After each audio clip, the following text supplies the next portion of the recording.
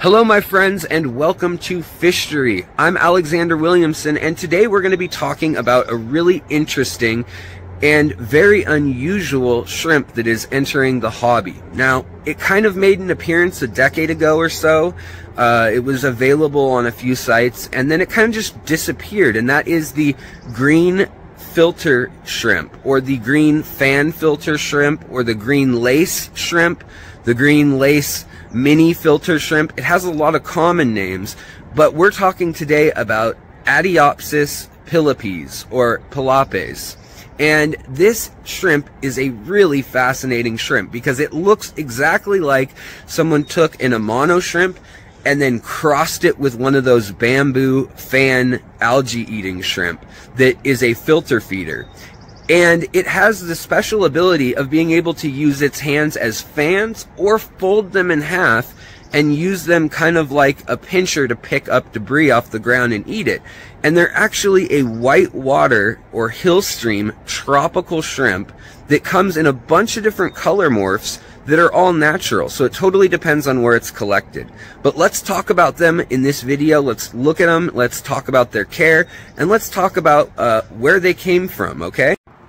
Alright, so let's look at some of these color morphs because some of them are absolutely beautiful, really striking and bold patterns that they can have, which is really cool because if you've seen the bamboo filter feeding shrimp, one, they get pretty darn big, somewhere between 4 and 5 inches at their max, and for some people, that's a little large for their aquarium, especially if you're doing like a 20 gallon or something. Uh, they, they're definitely more uh, at home in the 30, 40, 55 even. And they're kind of a uh, feature shrimp because they're not going to reproduce. You're not going to have a colony of them in your tank. And that holds true with these as well. They're really beautiful and they have the same similar traits of filter feeding out of the water as the bamboo shrimp. And they actually come from a really wide ranging uh, host of locations, as you probably saw with the different color morphs. That's not because of any breeding or lines that humans have had anything to do with. It's just because they have different uh, different habitats in the wild, and they range all the way from southern Indonesia and Malaysia, Borneo, and those islands down there in the uh, deep tropics, all the way up into the northern Philippines, and all the way across to mainland China and Vietnam, and all the islands kind of in between, they've kind of showed up. So, their range is not super defined uh, scientifically, but they have been found a whole lot of places, and over time they've been exported from a number of these places as different shrimps with different names. Uh, even though they were scientifically described in 1938 and they've been known by the scientific world for quite some time.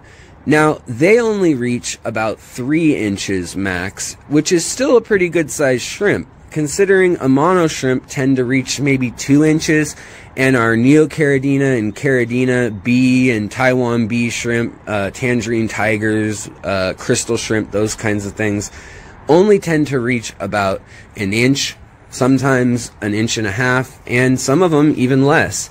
Uh, if you look at some of the babaulti and other forms of shrimp in the hobby. But these uh, are able to reach kind of that intermediate size have a really cool color to them. And then because they live in those island locations in freshwater streams, they actually have evolved to hold on in a lot of flow. So they can live in a hill stream setup. So if you're doing a setup with something like rainbow fish or, you know, hill stream loaches or something like that, they would be perfectly at home with even a power head going in their tank. And actually, they need that food suspended in the water a bit, like the bamboo filter feeding shrimp do, or sometimes they're called Singapore flower shrimp, or uh, sometimes they're called bamboo fan shrimp. But regardless of what you call those other shrimp, these have a similar need and very similar care, except they're smaller. And they have a few tricks up their sleeve in that they are a wide ranging shrimp in where they're found, like we talked about. So they've also evolved the ability to pick up things off the ground and eat a little bit of detritus, eat off of uh, scavenging off of algae and other things a lot more so than your typical fan or filter shrimp that you see in the hobby uh, elsewhere. So they're kind of a cool feature piece or showpiece shrimp for a nice aquascape or a delicate uh, ecosystem where it's you know calm and uh, you know an Iwagumi aquascape maybe where it's a little understated and not super complex so that they don't get lost and they're actually the star of the show at their you know three inches long. But let's talk about what else they need in their care, the water parameters and so forth, and a few other little quirks about this incredible shrimp.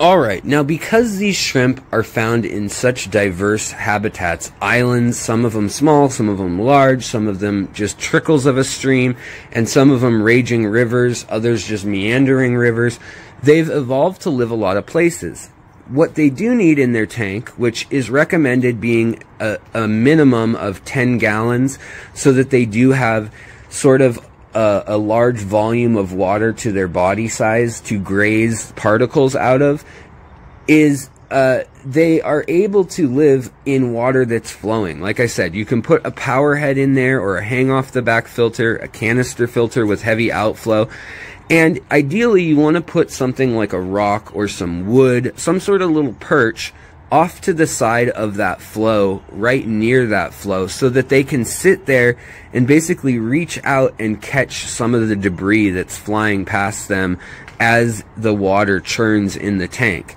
You can feed them like crumbled spirulina or little algae wafers, uh, any sort of little shrimp pellets or flakes you can kind of crumble and just float in the water and they'll eat those. Or these shrimp will also do some grazing on algae and on plants as well.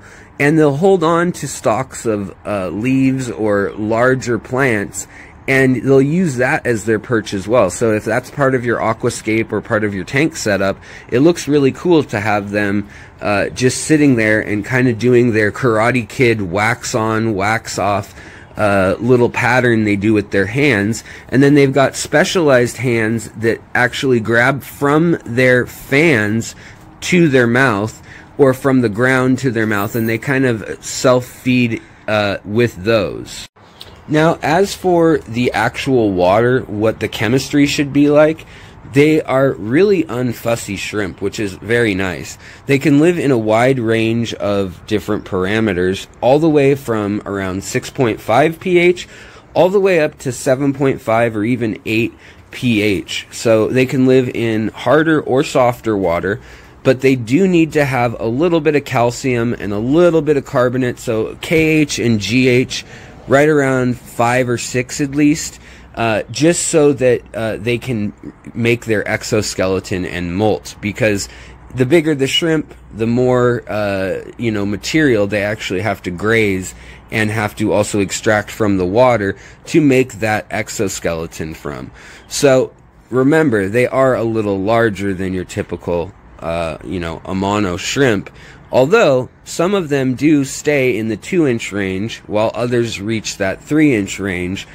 And just like Amanos vary in size, they will vary in size.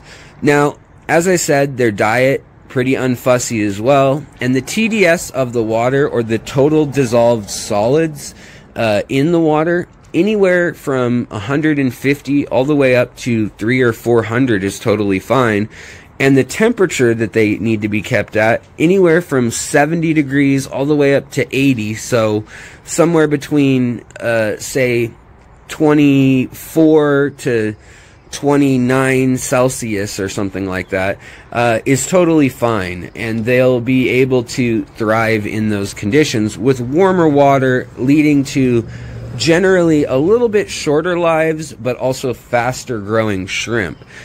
And with a shrimp that isn't going to be reproducing in your freshwater tank, it's something to consider maybe keeping it on the cooler end of things if you want it to stick around for a while.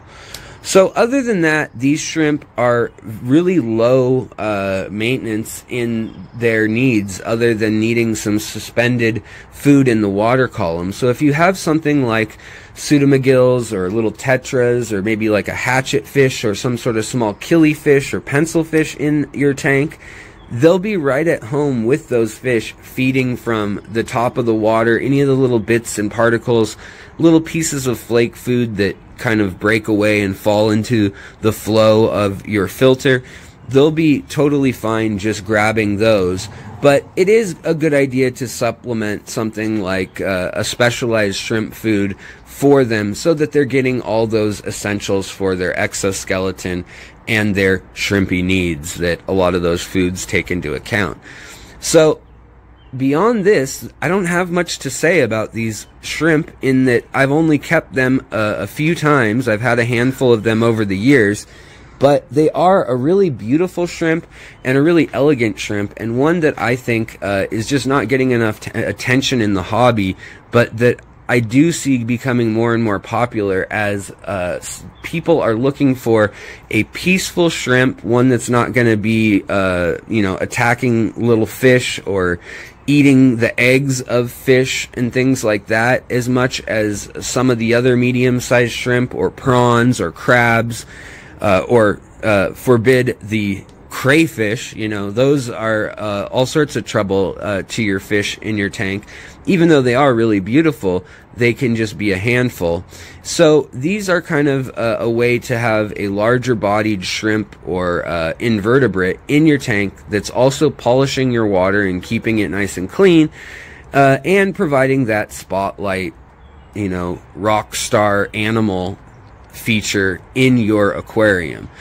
So I hope you guys enjoyed this little rundown on this incredible creature, this beautiful centerpiece shrimp, and hopefully you guys will tune in again, so like, subscribe, or even share the content here. Thank you so much to my members. Uh, it's only $1.99 to support what we do here at the channel, and you guys mean so much to me. You're the reason this stuff gets made. Have a great day, everyone, and I'll see you next time.